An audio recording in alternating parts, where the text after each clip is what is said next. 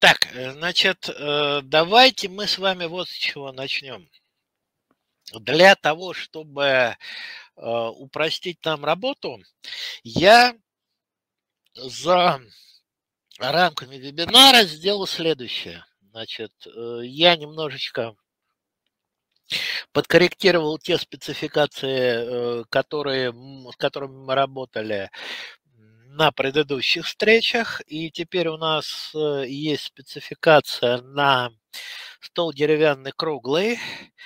Значит, здесь э, идет э, выпуск внутреннего полуфабриката, то есть все происходит внутри э, одной спецификации, и вторая спецификация стол деревянный квадратный.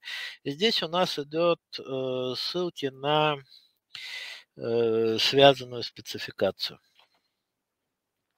То есть здесь у нас есть что-то, что производится по другим спецификациям.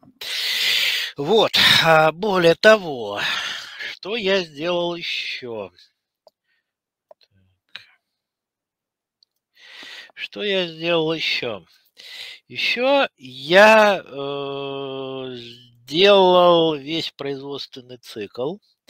Значит, два заказа на производство, 20-21.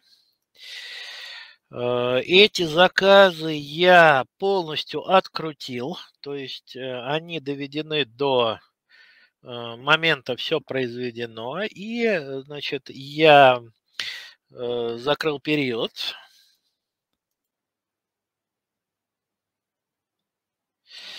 Вот, э, ну, там я вносил изменения, в принципе, из-за этого она сейчас немножечко ругается, вот, но это не должно повлиять на наши задачи, на всякий случай я заново закрытие э, запущу, и я сформировал себестоимость в результате. Давайте посмотрим, как она выглядит. Значит, чаще всего я использую вот этот вот отчет из раздела производства, анализ себестоимости выпущенной продукции по организации. Значит, поскольку я это делал сегодня, я период поставил. И давайте с вами посмотрим. Вот себестоимость по э, столу деревянному круглому.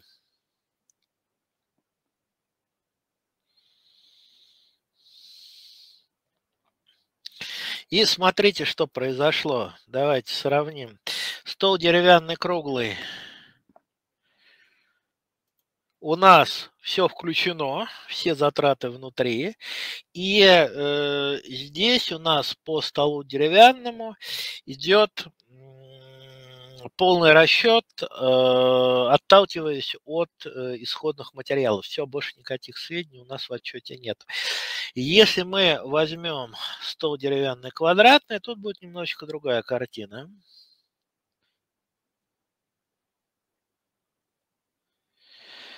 Значит, здесь будет только один материал участвовать в расчете себестоимости и два полуфабриката. А расчет себестоимости полуфабрикатов, а, вот, ну, это надо смотреть отдельно. Значит, э, на ту же самую столешницу. Там у нас будет отдельный расчет.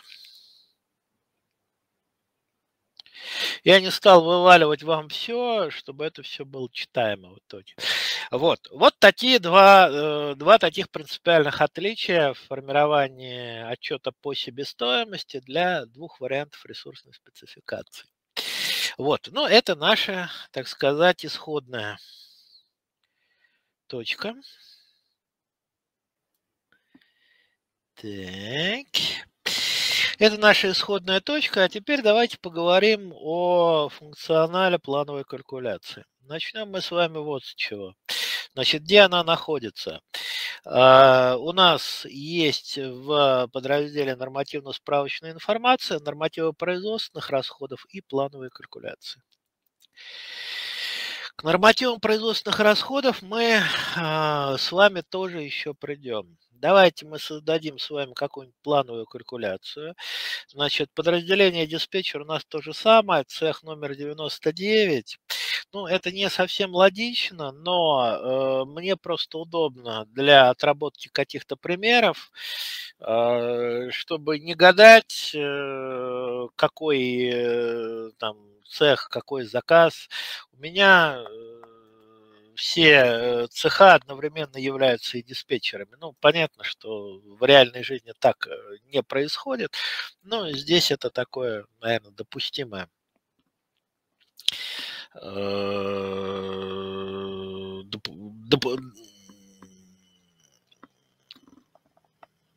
Допустимое отклонение, давайте это так назовем. Итак, значит, мы можем просчитать плановую калькуляцию по ресурсной спецификации или взять заказ на производство. Мы с вами оттолкнемся от ресурсной спецификации, укажем Орион, и вот следующая настройка, она требует э, определенного э, объяснения. Значит, у нас, э, от нас требуют указать э, вид цены материалов. Значит, э, напоминаю вам, что в принципе в разделе производства у нас э, существует так называемая э, плановая цена. Вот, в принципе, логично, конечно, использовать именно ее, но в явном виде, давайте мы с вами выберем любую в явном виде. Программа не требует, э, чтобы у э, цены, которую вы будете использовать, были какие-то такие э, специфические настройки установлены, вы можете использовать любую цену при расчете. Ну, давайте мы все-таки с вами, чтобы не путаться, оттолкнемся от плановой цены. Добавим номенклатуру стол деревянный круглый количество 10 штук и э, попробуем провести вот эту самую плановую калькуляцию. Обратите внимание, программа показывает, что ведется какой-то расчет, и мне она вполне прогнозируемо выдает, что э, калькуляция рассчитана с ошибками. И вот здесь э, очень часто у многих возникает ну, такое вот ощущение, что вы бьетесь головой об стену, потому что э, плановая калькуляция штука достаточно капризная, и вот это вот, э, а у меня не провелось, а у меня там ничего не рассчиталось, это мне приходится слышать достаточно часто от пользователей, и в общем-то, от пользователей даже достаточно умелых. Ну, вот, к сожалению, в 1С ERP есть вот такие вот тонкие места, где программа очень капризничает. Вот мы как раз с вами добрали до такого места. Давайте разбираться. Ну и э, смотрите, нам совершенно э, явно говорят, что у нас нету цен на вот эти вот материалы. А, значит, сразу хочу сказать, что плановая калькуляция, когда ведет расчет, она учитывает как а, цены на материалы, так и расценки на работы, в том случае, если работы включены в ресурсную спецификацию. Значит, э, то, что касается наценок на работы. Вот этот вот функционал, он у нас останется как бы за скобками, мы будем только с материалами работать.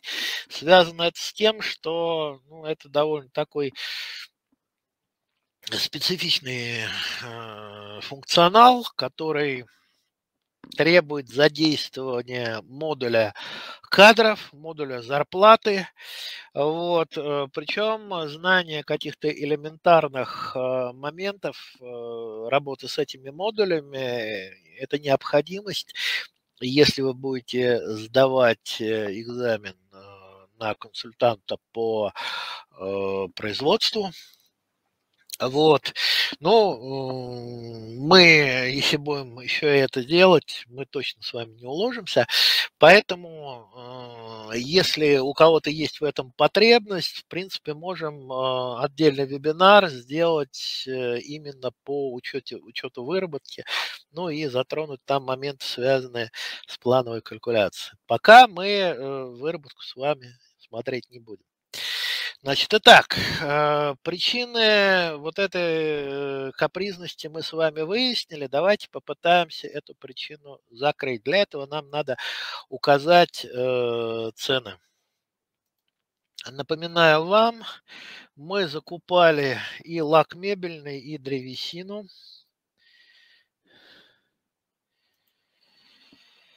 По тысячи рублей за куб и э, за литр. Ну, адекватность этих цен мы обсуждать с вами не будем. Значит, давайте мы э, с вами предположим, что ну, по плану у нас 900 э, стоит. Установим соответствующую цену. Значит, плановая цена, которая используется в расчете, это обычная цена из э, нашего общего справочника продажных цен. Ну, там не только продажные цены. Да? Вот. То есть мы можем э, выбрать любую. Значит, нас будет интересовать плановая. Давайте мы с вами установим цену. Отбор номенклатуры. Ну, значит, давайте. Вот я перешел на прайс-лист. Э, я меняю отбор. Давайте я попробую. Э, ну, проще, наверное, добавить. Э, так. так.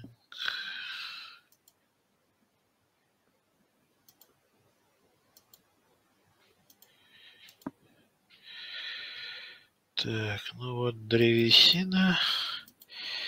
И добавить лак мебельный. Вот он. Да? Окей.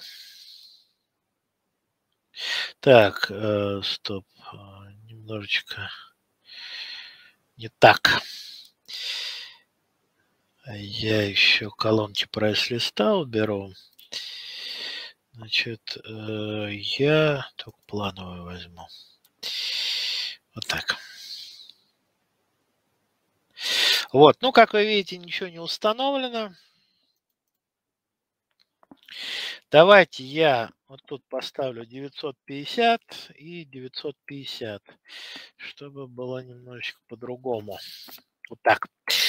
Значит, э, на дату 24 давайте, ну, вообще в современных версиях уже э, такой ошибки не возникает, но я на всякий случай сдвину на вчера установку вот этих цен, а лучше вообще на начало месяца. Записать и провести. Кстати говоря, имейте в виду, много ошибок именно из-за этого. Записать цены не вступят в силу. Это для процесса согласования нужно. Так, ну все, вот установили. И э, давайте я это закрывать пока не буду. И э, перейду на плановую калькуляцию и попробую ее пересчитать. Ну, опять ошибки. Давайте посмотрим. Но вы видите, что э, здесь у нас э, требуется, чтобы вот эти вот промежуточные э, как-то тоже были учтены. Ну, давайте, значит, ножка царга, основание столешница. Давайте я на них тоже цену какую-то э, задам. Так.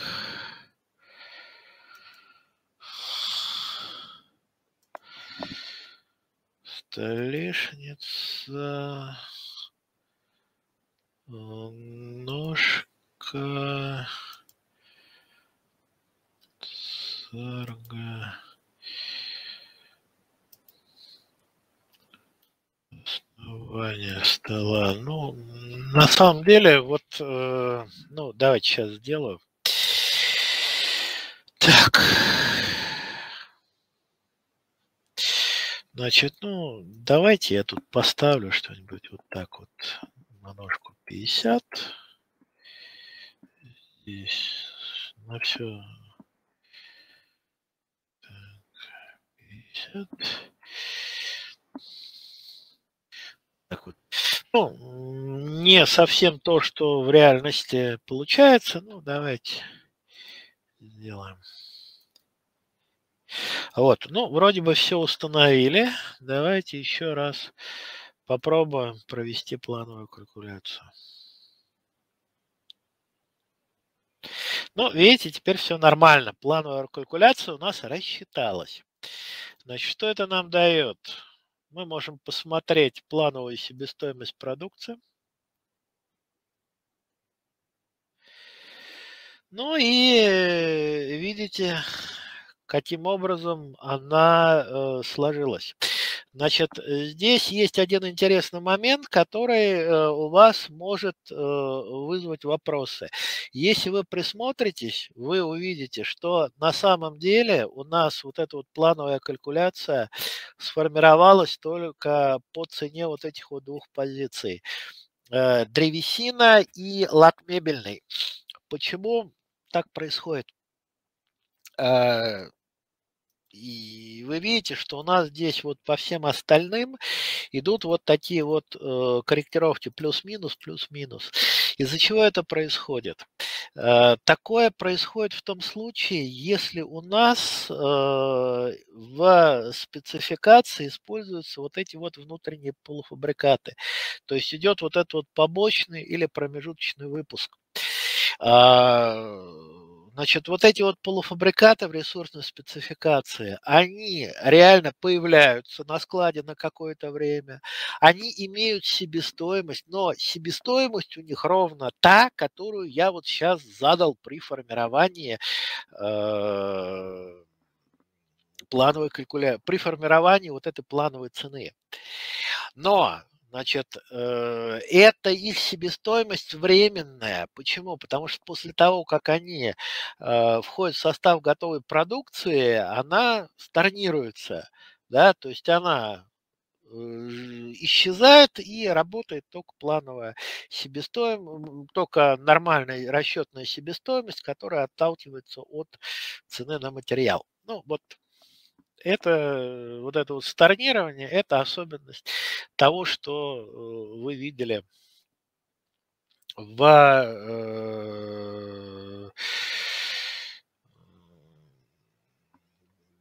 ресурсной спецификации. Ну хорошо, это то, что касается круглого стола. Давайте вернемся к плановой калькуляции. Значит, что у нас здесь? Ну, протокол расчета – это, в общем-то, э, аналог того, что вы видели по гиперссылке здесь. И я еще одну один момент э, вам покажу. Я не буду сюда переходить в отчет движения документа. Вы просто запомните, что плановые калькуляции, они есть. Движение. Я к этому моменту еще вернусь. Значит, что нам с этим надо делать? Что нам дает вот эта вот э, плановая калькуляция? Ну, естественно, если у нас есть плановая, а, а, плановая калькуляция, у нас есть план-фактный анализ, но прежде чем мы это будем делать, давайте я попробую еще одну плановую калькуляцию создать. Посмотрим, как это будет работать. Не, я скопирую просто. Не для круглого стола, а для квадратного. Там по-другому.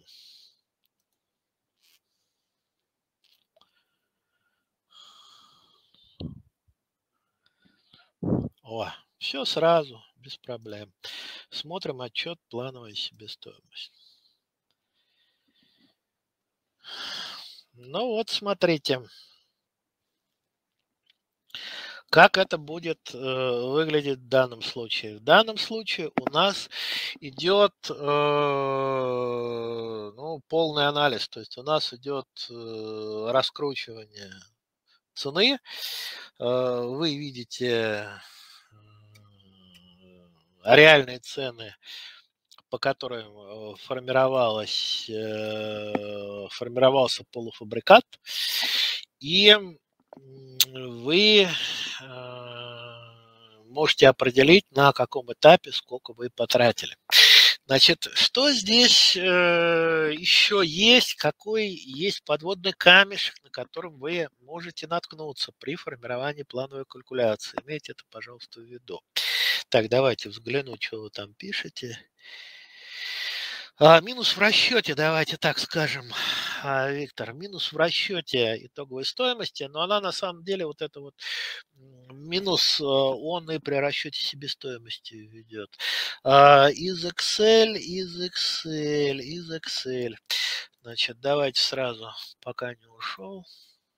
Вот, пожалуйста. Загружайте, кто не дает. Можно загрузить из Excel, безусловно.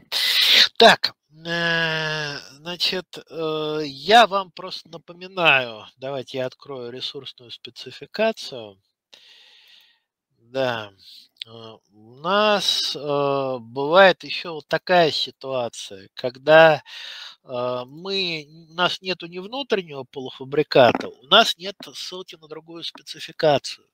У нас стоит обеспечивать. Значит, кто был на предыдущих моих вебинарах, связанных с полуфабрикатами, да, а, вы должны помнить, э, я вам говорил, что в этом случае, ну, как бы работает толкающая, а не тянущая э, система планирования, и сколько там, и вот выпуск этих столешниц, оснований мы должны э, сделать отдельно. То есть на их выпуск у нас будет заказ на производство. И вот здесь проблема в чем?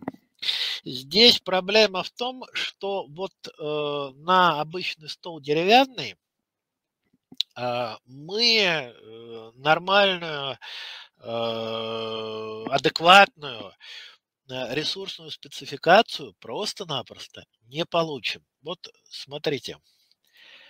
Когда мы смотрим плановую спецификацию с внутренним полуфабрикатом, мы видим сторонирование. Когда мы смотрим э, плановую калькуляцию э,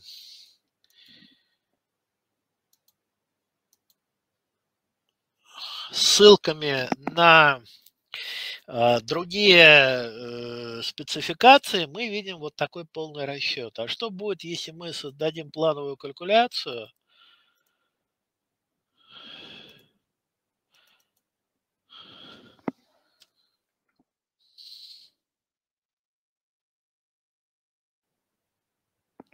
Так, не понял.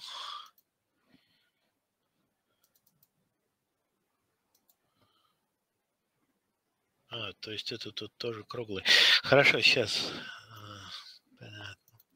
Что будет, если мы создадим плановую калькуляцию, используя вот эту вот спецификацию? Без явных полуфабрикатов. Давайте попробуем. Она рассчиталась.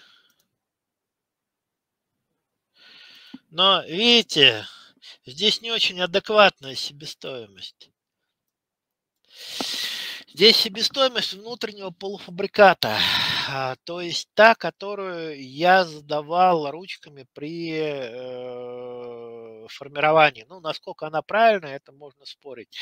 Вопрос в том, что материалы, которые использовались в производстве стола, столешницы и каркас, вот они здесь э, учитываться не будут.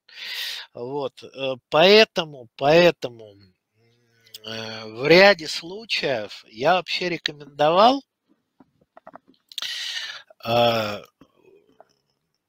делать дубли спецификации. Ну, вот э, смотрите, я думаю, что все вы э, согласитесь, что э, так, давайте, что э, самая адекватная, самая говорящая для нас плановая калькуляция это вот это.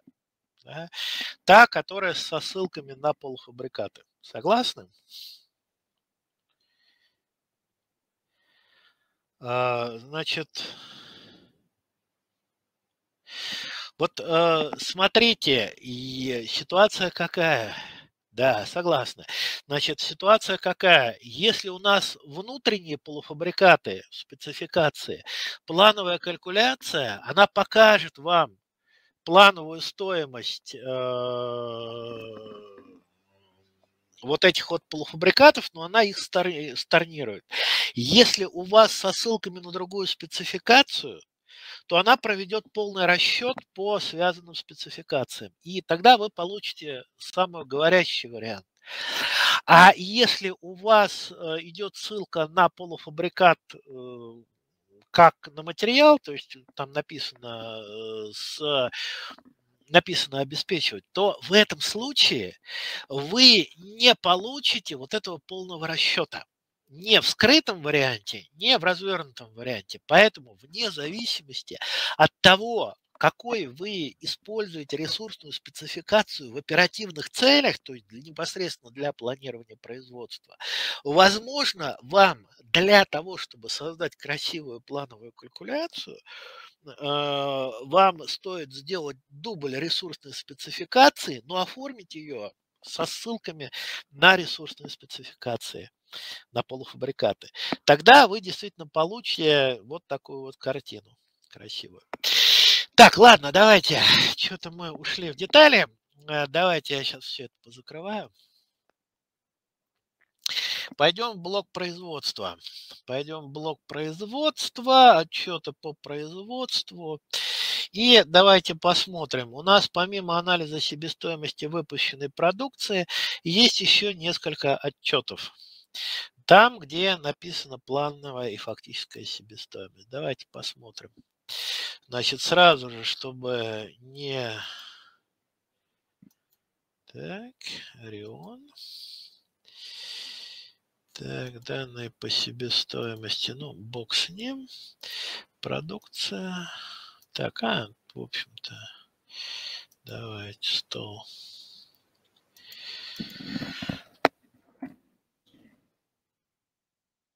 Деревянный квадратный.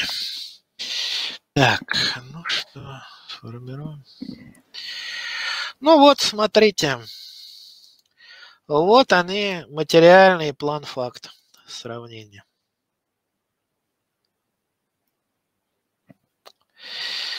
Значит, э, какой еще у нас есть отчет? Плановая себестоимость. Ну, по сути дела, у нас здесь, давайте вот так период как-то странно задается.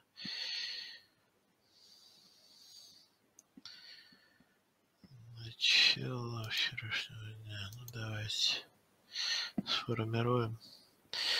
Так, ну это мы куда-то не туда ушли. Давайте посмотрим плановую калькуляцию. Вот так вот.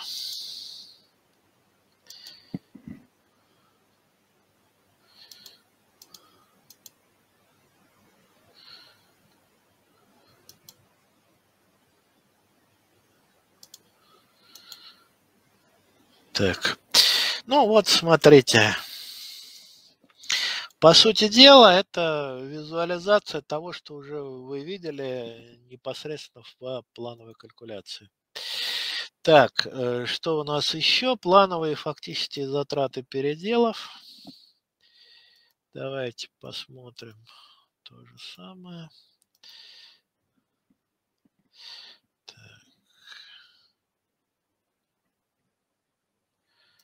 стол деревянный квадратный. Так, не совсем понятно. Так, а, секунду. Стол деревянный круглый.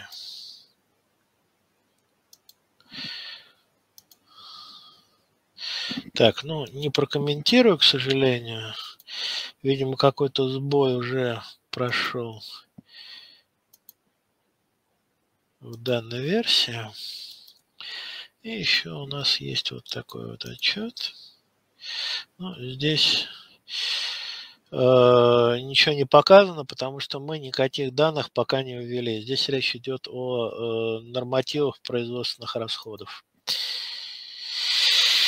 Так, э, значит, э, смотрите.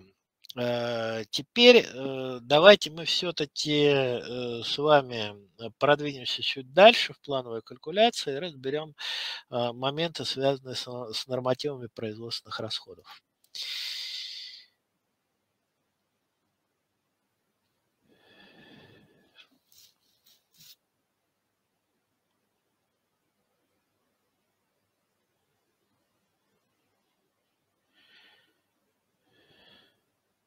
Ну, у меня на самом деле э, э, заказы на производство не закрытые. Значит, и факт э, по материалам он должен видеть факт по материалам он должен видеть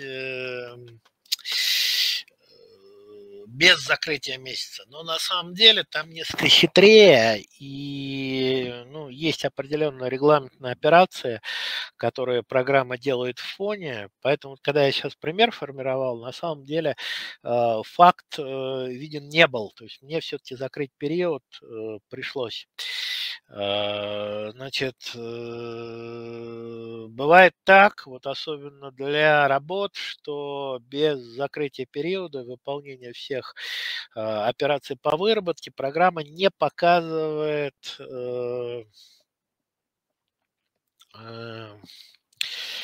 ценовые показатели, показывают только количественные. Такое тоже бывает. Значит, ну давайте все-таки перейдем к нормативам. Э, если делать PC, э, нет, там немножечко по-другому, к сожалению.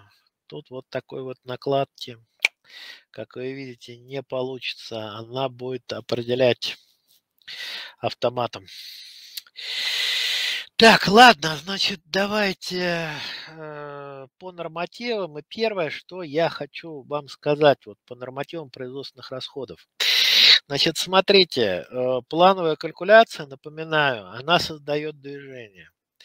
Если вы возьмете э, нормативы производственных расходов, вы увидите, что даже отчетов по ним э, так ну, установлены.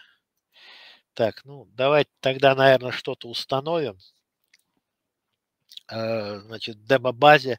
Так, а может у нас... Попробуем. Да нет, э, в демо-базе просто этого не делал никто. Так, значит, э, давайте мы попробуем с вами установить какой-то норматив, но для установки норматива производственных расходов нам потребуется что? Э,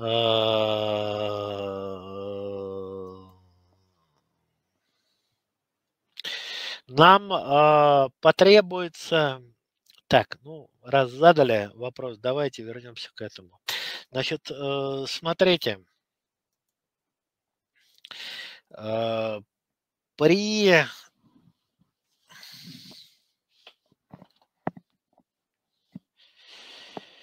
Давайте, может, здесь вам удастся это показать.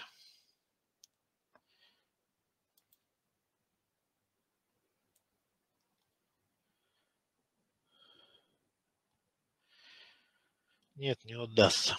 К сожалению, нет, здесь перестали в явном виде показывать. Так, партия производства, калькуляция. Значит, э, смотрите, когда у нас формируется план-факт, вот именно отчет по плану-факту, программа берет, естественно, ту калькуляцию, которая используется при производстве. Иначе смысл сравнивать э, ту спецификацию, которая используется при производстве. Иначе смысл сравнивать плановое с фактическим. Вот, то есть здесь, к сожалению, без вариантов. Э, дубль вы можете сделать для того, чтобы э, более детально представить себе вот эту вот структуру себестоимости.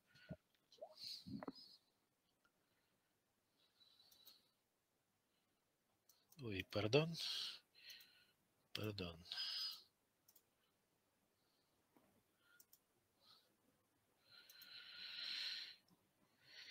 Вот. Так, значит, ну давайте все-таки перейдем к нормативам.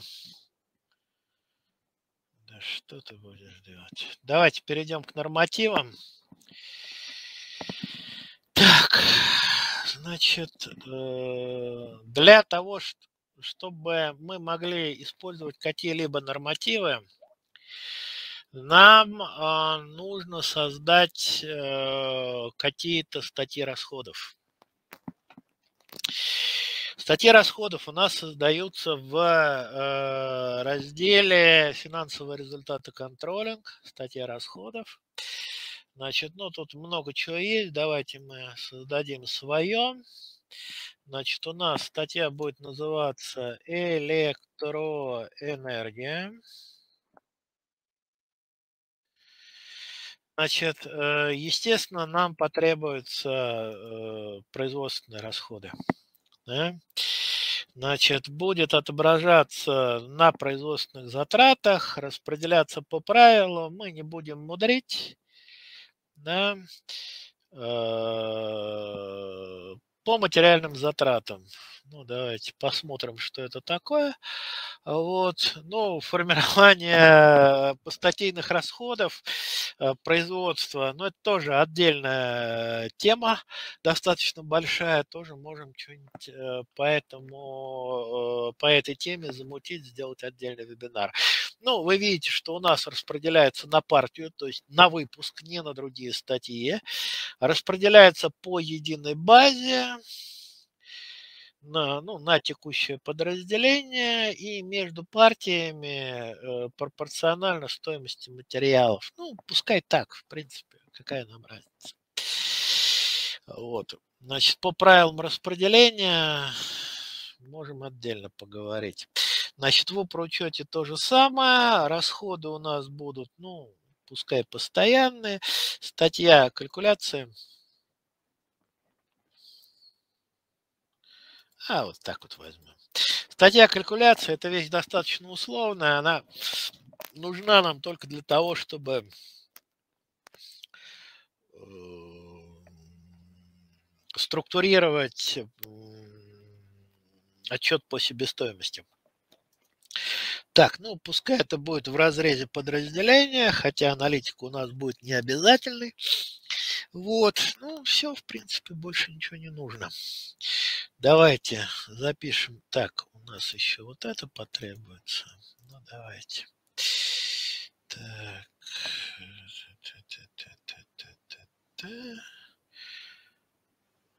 Ну, не будем мудрить, не буду искать.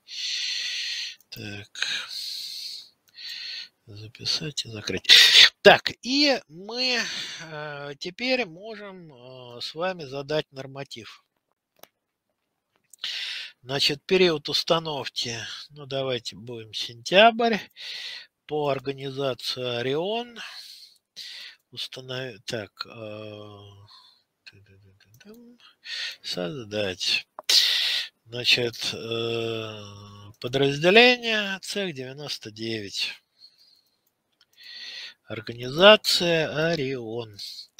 Действует с 1.09 и до упора. Соответственно, вот здесь мы тоже поставим 1.09.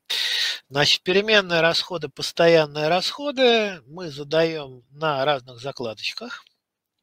Так, давай пос посмотрю. Ага. На разных закладочках э, добавляем, смотрим статью расходов. Электроэнергия. Тут фильтр будет работать. База распределения, сумма материальных затрат. Значит, почему в долларах у нас это валюта управленческого учета? Так, сумма материальных затрат. Ну, давайте у нас будет 1000. На 1000 будем нормировать. Так, и норматив. Ну, давайте вот так вот возьмем. То есть у нас э, на каждый доллар э, затрат будет полдоллара энергоресурсов. Ну, как бы много, но что поделать. Давайте запишем. И обратите внимание, у э, нормативов производственных расходов нету проведения. Они не делают движения по э, регистрам. они просто задают величину э, вот этого показателя, не более того. А вот теперь давайте пойдем в плановую калькуляцию и попробуем ее перепровести. И смотрим отчет. Смотрите, у нас появились постатейные расходы.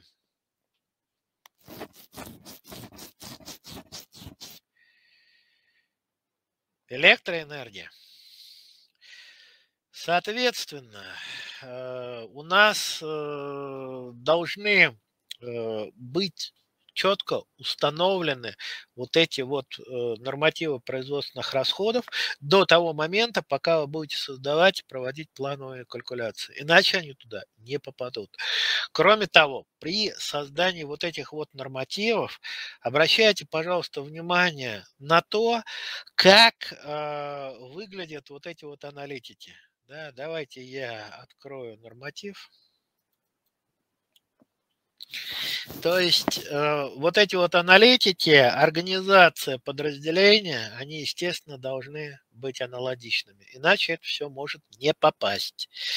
Вот. Ну и, естественно, это все должно находиться в периоде, в котором происходит вот это самое действие. Значит, что мне еще значит, хотелось бы сказать? Понятно, что э, значит, э, ну, давайте попробуем, посмотрим, поменяется ли что-либо. Ну, здесь, смотрю, особо не меняется. А, ну да, вот это вот э, мы должны посмотреть. Так, ну у нас нету фактических нормативов, поэтому, значит, она сейчас у нас не сформируется. Значит, э, точно так же будет происходить э, сравнение плана и факта в случае, если у нас э, используются данные нормативы. Кроме того, я хотел бы обратить ваше внимание, уж скоро мы стали с вами говорить по себестоимости, еще на одном моменте. Значит, немножечко мы с вами уйдем в сторону сейчас.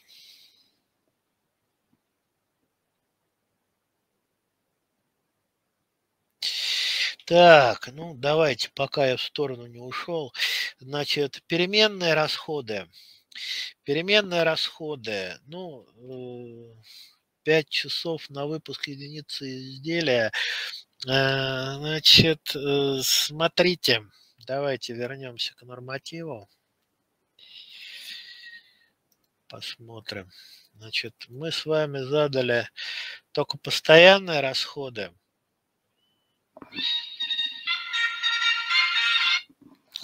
Точно так же мы можем э, задавать и э, переменные расходы. По сути дела, здесь будет э, задаваться то, тот же самый э, норматив. Вот это вот деление по функционалу, вот эти закладки, они не так сильно отличаются.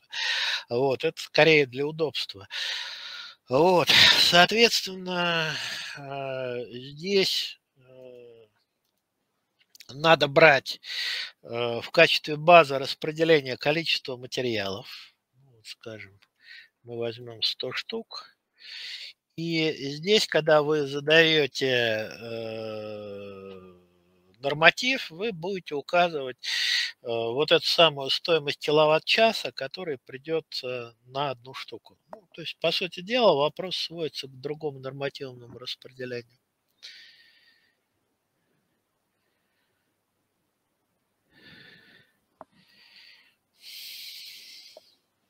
Понятно?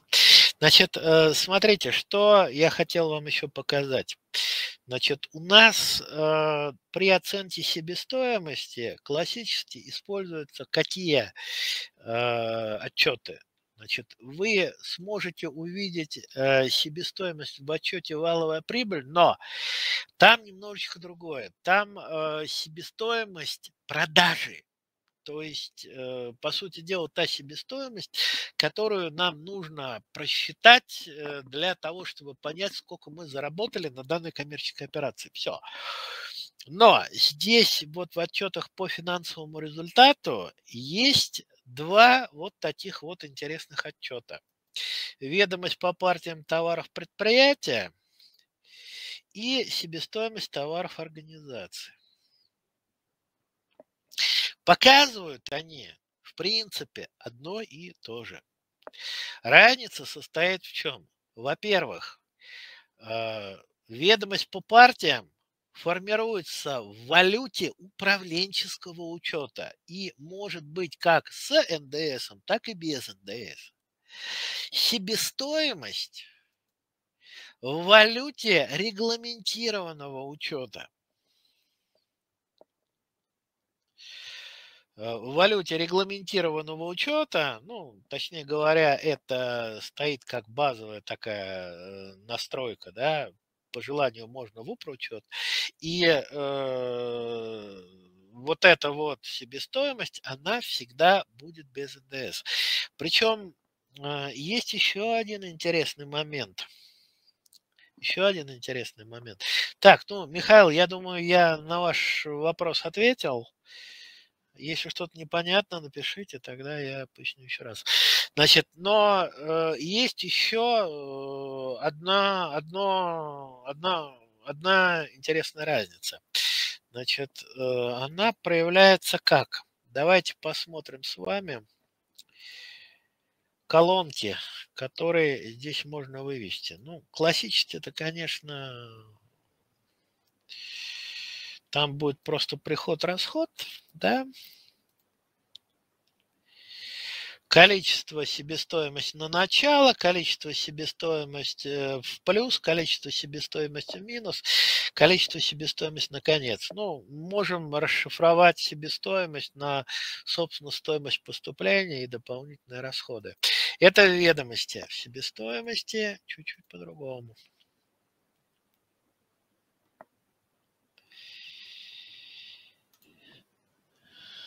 Смотрите.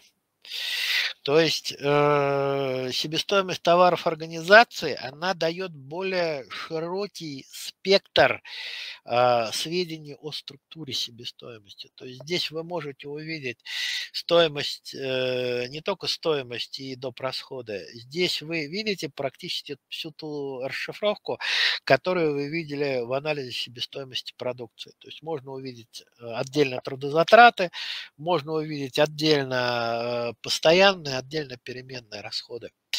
Вот, то есть сведения, которые дают два этих отчета, она немножечко различная, и в том случае, если вас интересует себестоимость продукции, лучше, конечно, использовать вот этот отчет. У нас э, уже, я так понимаю, время. Спасибо. Рад был вас всех слышать.